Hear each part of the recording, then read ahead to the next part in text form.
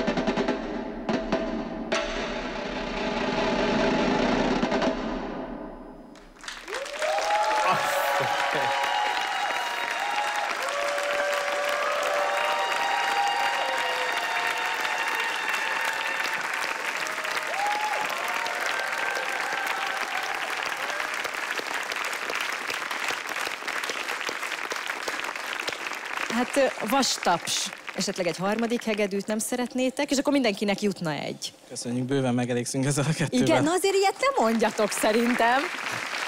Erika, Hát nincs már hegedűm, de szívesen leszek az előzenekarotok, ha akarjátok. Megegyeztük. Megegyeztük? Szóval számomra az volt az elképesztő, és nagyon izgi az egészben, hogy míg az első darab Johann Sebastian Bach fugája, az egy hátradőlös, becsukom a szemem és relaxálok, és aztán zsúgy, ugrottunk egyet. Hihetetlen volt ez a nagy amplituda, amivel ez a két darab itt működött, és ahogy ti működtetek. Tehát fantasztikus, hogy akármit csináltok, abba beleugrotok, és akkor azok vagytok, mint a kaméleon. Tehát a ruha, minden, a válla, teljesen Köszönjük szépen. perfekt. köszönjük András. Eszembe jutott egy halhatatlan barátunknak, a, a Halmos Bélának, a nagy névzenész, egy pár évvel ezelőtt halt meg egy nagy mondás, ő is biztos egy nagy embertől hallotta, hogy figyelem, fegyelem, kegyelem. Ez jutott eszembe a játékotokról. Tehát a figyelem és a fegyelem Köszönjük meghozta a szépen. kegyelmet. Köszönjük, Gergő. Én ezt igazán nem is értem, hogy hogy lehet. Szóval, hogy ennyire gyorsan nem lehet egymásra figyelni, és ennyire gyorsan, illetve ilyen tempóban pedig, ha, ha önmagam akarok pontos lenni, akkor az eltér a többiektől, úgyhogy tényleg nem tudom, hogy hogy csináljátok. Tényleg jó szerzőket választotok, hát Bach is nagyon jó, de ez a, ez a Tóth Péter lelemény, ez a, ez a amit itt három, három pergődobbal zeneszerzői leleményként ő megírt, és amit ti ebből kihoztatok, az egész fantasztikus. Köszönjük szépen. Köszönjük. István. Én Szeretnélek megkérdezni arról titeket, hogy milyen párhuzamot láttok a, a focizás és a, az ütőhangszer között. Már most, most abban az értelemben, hogy ugye fókuszálásról van szó, ritmusérzékről van szó, és éreztek-e valamilyen kapcsolatot a kettő között? A fociban is nagyon fontos, ugye, hogy pont ütemben kapja az a bizonyos játékos Na, a labdát, a paszt, a kulcspaszt, vagy a bemozgás magyarul, hogy én hova fogok helyezkedni, hogy tudja nekem adni a labdát, ugye az adott csapattársam. Most itt főleg a kisdobban szerintem, de a bakban is mindenképpen abszolút egymásra kellett, hogy támaszkodjunk, hiszen tudni kellett, hogy a másik mikor hozza be az adott frázisát, vagy ez abszolút, hát hogy bízunk a másikban, ez, ez ennyi. Mernétek azt mondani, hogy, hogy a zenélés vagy az ütős hangszeren való játék fejleszti a, futballozási készséget? És fordítva is. Szerintem igen. Az biztos, hogy egyikben sem hagyják ki az ittszert. Nem vagy. Köszönjük szépen. Ahogy János sem tette most, köszönjük szépen. Én imádom az ütősöket. Mondom. Kedvencem. Én egyébként biztos, hogy ütős lettem volna, nem énekelek. Így is ütős vagy. Ütős lettél így is. Nagyon ütős vagy így. Na jó, hagyjatok már békén.